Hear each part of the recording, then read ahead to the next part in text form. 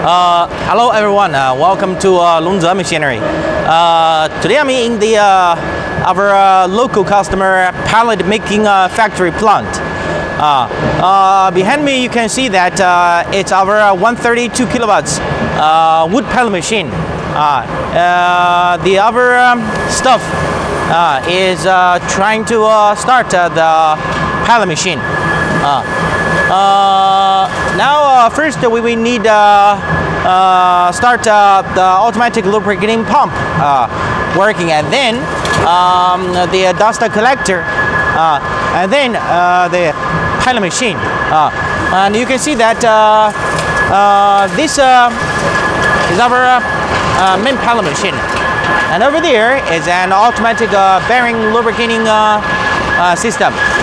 And uh, from the pellet machine, uh, you can see that uh, uh, it's an uh, uh, simple vibration uh, uh, for separating uh, the dust uh, and the broken pellet. Uh, uh, and then the good quality pellet will go through this uh, Z-type uh, uh, belt uh, bucket uh, conveyor to the uh, big uh, pellet silo. This uh, pellet silo uh, around with the uh, with the sieves. So uh, this uh, design is uh, uh, easily for cooling the pellet. And uh, you can see the pellet. We use mixed wood, mixed wood. With the the pellet compression ratio is very suitable, and the pellet uh, with uh, very good quality. Uh, and uh, over here, uh, and from here, you can see that we use a, a wheel loader to load the crushed, uh, the crushed uh, wood chips. Uh, these wood chips from our large comprehensive uh, crusher.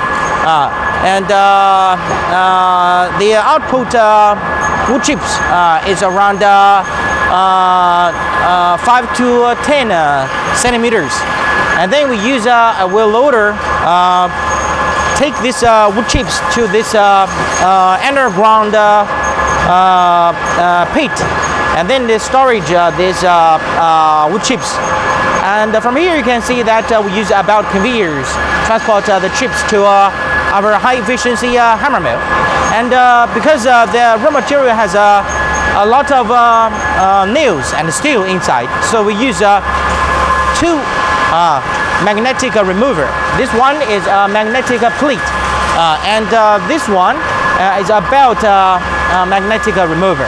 Uh, so the steel will be separated, and then high efficiency hammer mill will grind these wood chips to sawdust size, and the fan blower and the fan blower is over here.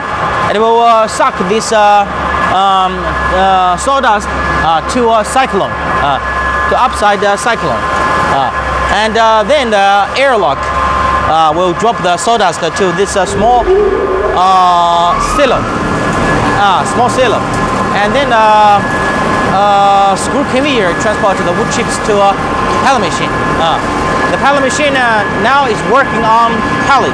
Uh, the capacity for this uh, 132 kilowatt pellet machine average uh, 2.2 ton per hour.